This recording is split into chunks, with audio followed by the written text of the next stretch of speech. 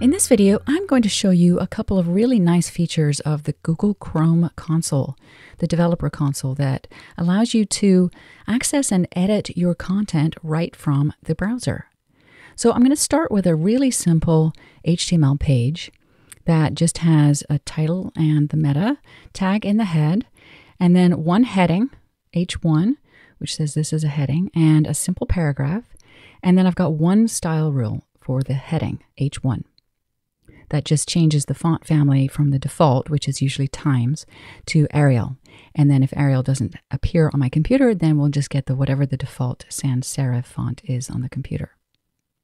So this is what the page looks like in the browser.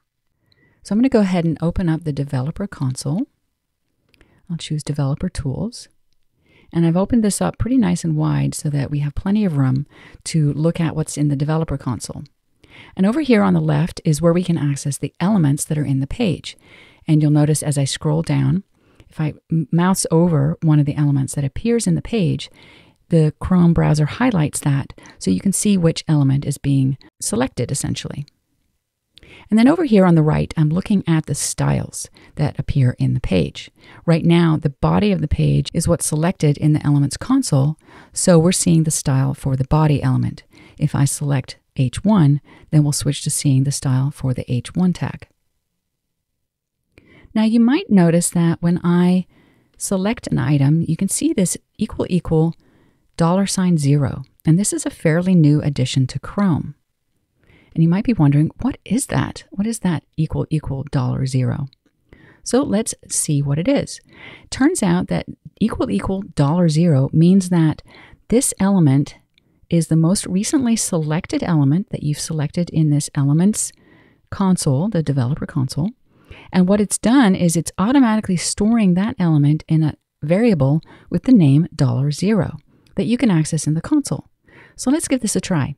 I've selected the H1 heading by clicking on it. So I'm going to jump over to the console window, which is where we can interact with the JavaScript in the page, and I can type in $0 and it shows me the heading that I have selected over here in the Elements window. So that's an easy way to get access to the thing you've selected in case you want to try out some JavaScript on that element. So for instance, I could come in here and I can change the inner HTML of the heading by simply specifying $0.innerHTML equals updating the heading. And you can see that that changes the heading in the page. Now, of course, that does not change the heading in the HTML. That is still, this is a heading in my file, but I've temporarily changed the heading dynamically in the browser by updating $0, the variable which represents this element in the page. And actually, Chrome has multiple variables, 0 through 4, so that you can access the five most recently selected items in the page. So let's give that a try. If I select this is a paragraph, you can see that Chrome has now changed the value of $0 to be this paragraph. So if I go over to the console and I type $0, it'll now be the paragraph. But you can think of this like a stack. What it's done is it's pushed the item that I had selected earlier, the heading, one down in the stack. So now that is the value in the $1 variable. And if I come back to the elements and I click, say, the body, now the body is the most recently selected element, and the heading and the paragraph have been pushed down the stack again. So if I come over here and choose $0, we should see the body. $1 should be the paragraph. $2 should be the heading, and it is. So these dollar sign variables that Chrome has added to the browser give you an easy way to access the most recently selected elements that you've been playing with in this elements window through the console without having to first get that element from the DOM using document.getElementById, by or even making sure that you've added IDs to your to your elements in the first place. Another way you can update the content of the page dynamically to play around, see what works for you, is you can actually just double click on the content. So I can change this back to this is a heading just by double clicking on it and typing.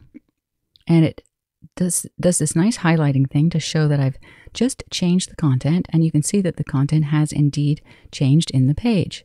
And again, this is now assigned to the dollar zero variable. So if I jump over to the console, and I'll clear that and type in dollar zero, and you can see that the content has changed there too. All right, so let's change the paragraph to add some spice. So you can see that we've added the add some spice to the paragraph, which now shows up in the page. This is now the most recently selected element. So if I go in here and type dollar zero, we see the paragraph and its new content, and dollar one, and we see the heading and its new content. So this is kind of a great way to explore the content on your page and play around with it and also try out different JavaScript functions by accessing the content using these dollar variables, which makes it very easy to experiment with things and kind of do design on the fly. You can also do that with your CSS. So let's select the heading here. And let's say I want to try a different font. Well, rather than going in and having to edit my CSS and my HTML, I can actually just double click and change. Let's change this to Verdana and see what the difference is. And see, it immediately changes the font of the heading. All right, let's try another one. Let's try Georgia. And there you can see that now the heading is in the Georgia font. So this gives you a really easy way to experiment with the style of your page as well. And again, kind of design on the fly. I can even add new style elements to the rule for the H1. All I have to do is click right here and it gives me a new line. So let's say, for example, I want to add a font size. So I'm going to make the font quite a bit bigger by setting it to 3EM. Now, notice that down here in the user agent style sheet for H1, and that's the style sheet that is set by default in the browser. So this would be any style that I have set by default for um, my HTML pages through the user agent, through the browser. You can see that it's overridden the font size to EM.